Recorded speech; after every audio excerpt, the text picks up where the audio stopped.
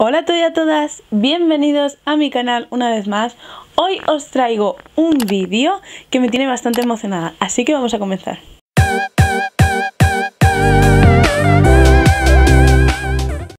Bien habéis visto en la portada y en el título, este vídeo va sobre libros. Muy emocionada, pero antes tengo que deciros, ¿queréis saber cómo se hace este maquillaje? Estad atentos que pronto subiré un vídeo sobre ello. Pues yo estaba muy emocionada con este vídeo porque quien me conoce de verdad sabe que soy una amante de los libros, de las historias de amor, porque soy más de amor. Me he leído de fantasía y demás, pero yo soy más de amor. Tenía este vídeo pensado, no sabía cómo iba a hacerlo, ni cuándo iba a hacerlo, ni por cuál iba a empezar, pero sí que tenía claro que quería hacer un vídeo recomendando libros y hoy nos vamos a ir con una trilogía y no va a ser 50 sombras de Grey. Debería empezar por esa, ya que es mi historia favorita, para quien no lo sepa, pero eh, bueno, no quería volver a lo mismo, así que vamos a ir a una, a por, no es del estilo, pero sí tiene algo más de erótico, pero es otra diferente, también de otra autora. Y esos libros son estos que tengo aquí, que para ser exactos son Tiéntame, Poséeme y Ríndete, de la escritora Patricia, hay que se enfoque, Geller, o como se pronuncie, no sé cómo se pronuncia, y es la colección, la trilogía de la chica del servicio. Entonces sería la chica del servicio, tiéntame, la chica del servicio, poséeme y la chica del servicio, ríndete. Pero bueno, realmente Trilogía de la chica del servicio. Bueno, pues no es muy difícil imaginarse que va sobre una chica que entra a trabajar a una casa y se enamora de el dueño. No el dueño como tal, sino el hijo de los dueños, es decir, el hijo mayor. Y ahí hay una serie de cosas que van pasando. Luego es un poquito, un poquito bastante erótica, además eh, creo que las portadas lo dicen todo. Y bueno, pues no ser eh, va la historia solamente sobre el amor, también pasan una serie de cosas eh, a ellos personales. Es que no quiero hacer spoiler, ¿no? Pero mm, bastantes cosas personales, entonces hacen eh, la historia que tengo. tengo que aclarar que yo cuando me los leí, me los leí muy reciente de 50 sombras de Grey.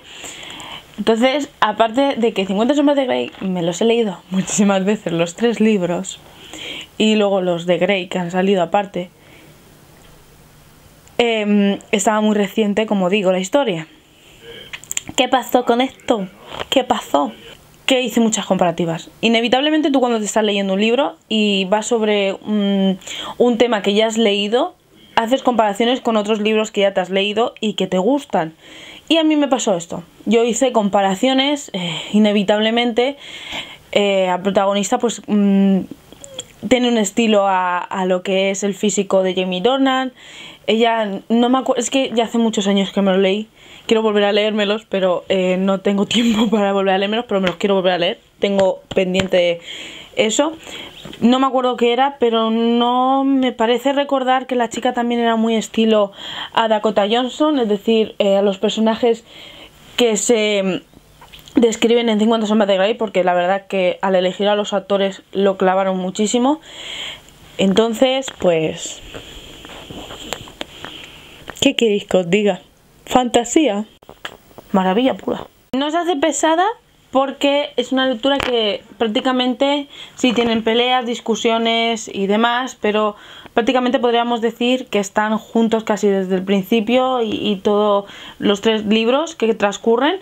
Lo que sí que os digo que, pues como digo, hay discusiones. En cuanto a las letras, eh, son, es una letra media, no, no es ni muy grande ni muy pequeña, está bien. Y de tamaño del libro, pues más o menos los tres rondan por esta por este tamaño que son unas 430 páginas aproximadamente, uno más, uno menos, pero rondan por ahí, son más o menos los tres del mismo tamaño. Se pueden comprar juntos o por separado, yo estos me los compré el pack de tres, pero tengo que reconocer que yo ya me los había leído, es decir, eh, obviamente